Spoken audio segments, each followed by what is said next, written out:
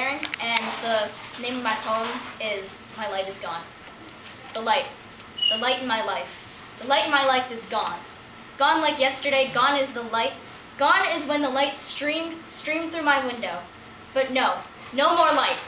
For light does not come. I work and work and work. Gone is childhood. No, I want to go back. Back to my farm, back to simple chores, back to no harm. Back to pain no more. Back to my family, ma and pa and sis and bro. They'd be glad to see me, you know. But I, I may not feel the same, for my pa sent me here to this place so lame. He was convinced by a man, a man who I can, I cannot speak of that man, for that man is the devil, as far as I know, for the devil does not allow light. The world that he is, is his is dark and cold.